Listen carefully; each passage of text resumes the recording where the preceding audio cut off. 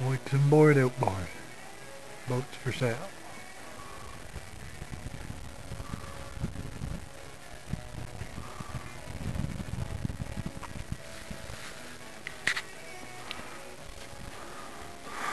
One of three.